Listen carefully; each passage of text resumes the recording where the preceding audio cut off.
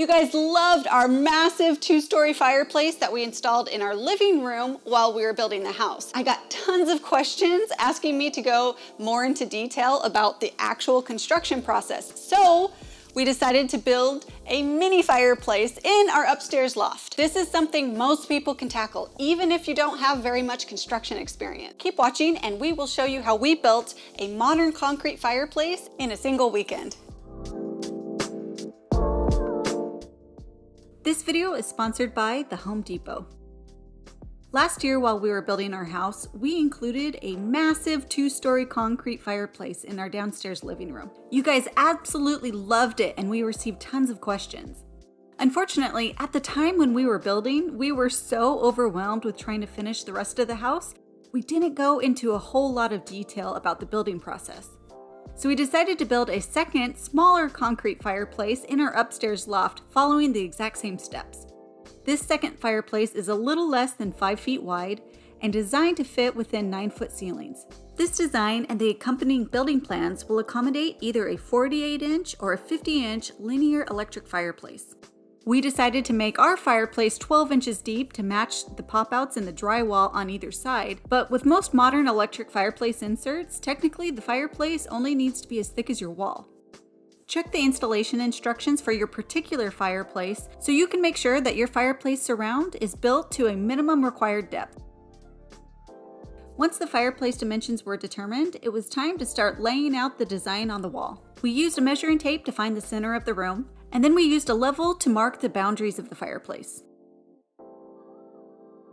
Using an oscillating multi-tool, we carefully cut and remove the baseboards on the length of wall where the fireplace will be installed. Multi-tools are especially great at cutting baseboard without damaging the drywall behind it. Next, we began to cut our lumber down to size. Don't worry about writing down all the dimensions as you follow along. I've made the full building plans available and have included a link in the description box below. You could use a miter saw to cut your lumber down to length if you'd like, but it's really not necessary. A speed square and a circular saw do a great job. We began by assembling the outside corners of the fireplace, aligning two studs perpendicularly corner to corner in what's called a California corner. You'll notice we're using a battery-powered framing nailer to connect our wood together, but it's also not required. You could choose to either hand drive nails, or an even better option would be to join all your lumber together using screws. We then moved on, creating essentially really small walls for the sides of the fireplace by adding an additional stud for the back and connecting everything together with a top and bottom plate. Once both of our side walls were built, we could move them into place. We checked to make sure that the walls were square and plumb and began to secure them to the framing in the wall behind them. You may have noticed that we are not pulling up the carpet in the area underneath the fireplace. We're not just lazy. There's a reason why. We plan on being in this house for a long time and knowing ourselves, we know that we like to remodel and eventually we may change up this fireplace. And if that's the case, we want to make sure that the original carpet is still where it was laid. So we are gonna build our wood framing right on top of the carpet. This fireplace is not going to have very much or any uplift. Nothing's going to be pulling it upward.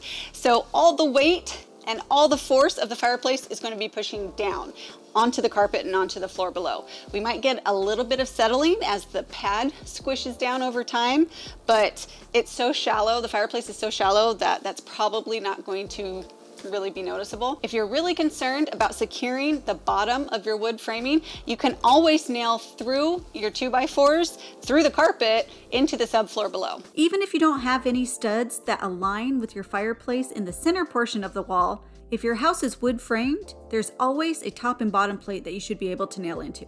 Once both walls were in place and secured, we began to mark out the location for the electric fireplace insert. A lot of fireplaces have a minimum height from the floor that they need to be installed at, and if you plan on mounting a television above your fireplace, most manufacturers also include a recommended distance in the installation instructions. We added a 2x4 bottom plate connecting the two lateral walls together. We then added a bottom horizontal support for the fireplace insert. It's hard to see in the video, but we were able to secure the horizontal supports through the California corner on the outside walls. To create backing so we could mount a flat screen TV, We nailed together another 2x4 and a 2x8 in that same California corner fashion. We then finished tying the walls together using a top plate toe-nailed into the lateral walls. Toe-nailing is when you secure two boards together by driving a nail at a diagonal angle, but I've included a little bit easier modified design in the building plans. We verified the height of our horizontal support, making sure that they were level, and then began adding our vertical blocking.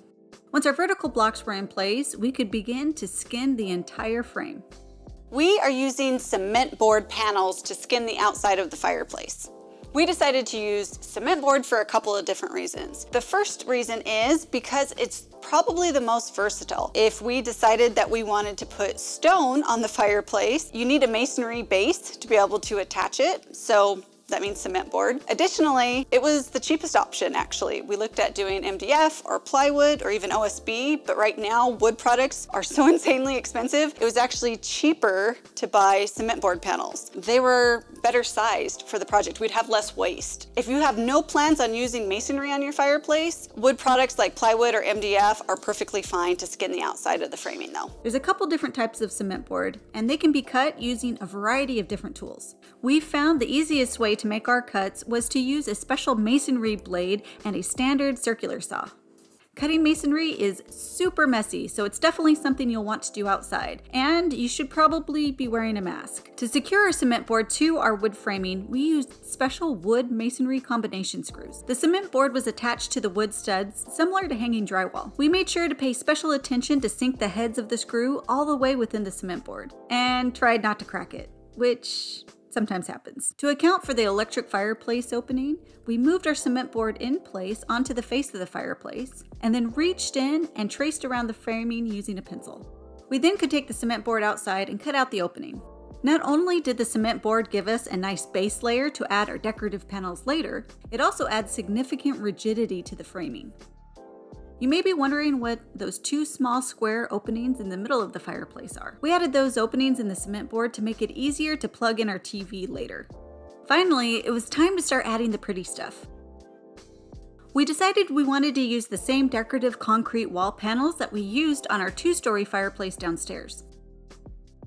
For the finished exterior of our fireplace, we're using the same product that we used on our big fireplace downstairs. They are real concrete panels from a company called Concreate. They will give us that sleek concrete look because they're actual real concrete, but they're super, super thin, just under a quarter of an inch. We will cut these two by four panels down to size using the same HardieBacker blade that we use to cut our cement board, and then attach them using construction adhesive on the surface of the cement board. Before we could begin adding our concrete panels, we marked where the center seam would be located vertically on the fireplace. We then took turns holding up panels against the fireplace and using a pencil to describe their dimensions.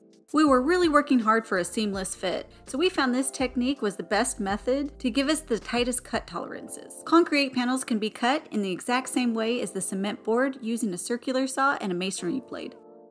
Anyone who has used a circular saw knows they're not the best for getting into tight corners. To try to get the sharpest 90 degree corners for the cutouts, we used a 4.5 inch diamond wheel on an angle grinder. To smooth the edges of the concrete panels, I will be using Diablo reusable sanding block and sanding sheets. Before we could mount the concrete panels to the cement board, we needed to smooth over some rough edges. I've been a big fan of Diablo SandNet products for several years, and I use them on all my electric sanders. Diablo SandNet now also comes in universal sanding sheets. SandNet is unlike any other sandpaper because it's made with an anti-clogging mesh design. Unlike sandpaper, when SandNet begins to load up with dust, you can shake or rinse off the dust and continue working. This project was my first time using the Diablo reusable hand sanding block as well. The two sides have different densities, the harder side for flat sanding, and a softer side to contour around shapes. The hand sanding block has hook and loop backing on either side, making it quick and easy to use with SandNet sheets. With the edges of the concrete panels smoothed out, it was time to begin to attach them to the fireplace. The manufacturer recommends using standard construction adhesive. We applied the adhesive in a bead around the perimeter and across the center of each panel and moved them into place. We added our first row of panels by pressing them firmly against the cement board and then allowing them to fully cure. Since the bottom row would help support the panels placed vertically above them, we wanted to make sure that they were well attached before we moved on. A few hours later, we came back and began to attach the rest of the concrete panels. Once the fireplace surround was fully skinned and looking beautiful, it was time to turn our attention to the electric fireplace insert.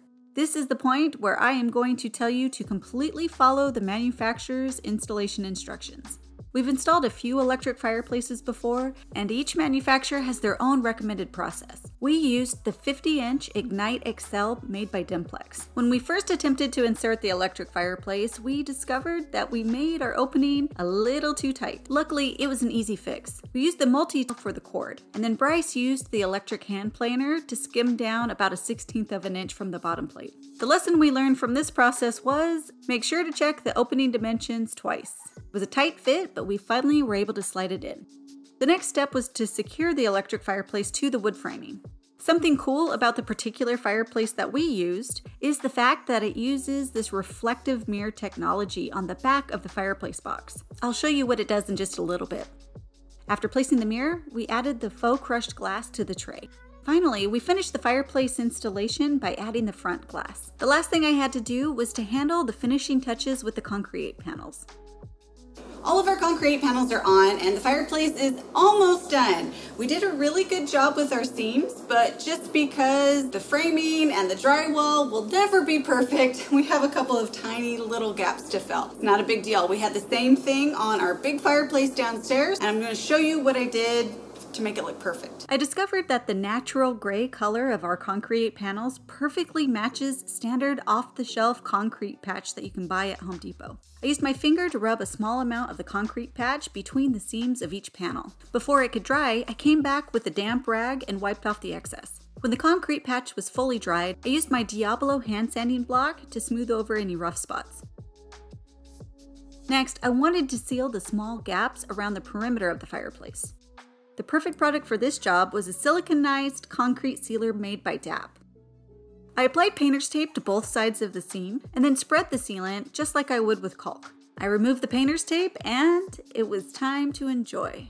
We installed a much less expensive and lower quality electric fireplace in our downstairs unit and I currently am feeling a bit regretful. Because of the mirror in the back of the Ignite XL fireplace, the whole insert looks twice as deep as it really is, and the flames look like they're coming out of the middle of the crushed glass, instead of being projected on a screen behind it. Truth be told, the second story loft is always the warmest place in the house. And since we live in Arizona, I sincerely doubt that we will ever use the heat blower on this fireplace. But it's nice to know it's there just in case. If you want to see how we installed our massive two-story fireplace while we were building our house, check out this video. And if you want to get caught up on our whole house building series, Building Modern on a Budget, I recommend you check out this playlist. Remember to check the description box for a direct link to the building plans. We recently moved into our DIY modern house and we have lots of fun projects in store, so make sure that you're subscribed. And as always, thanks for watching.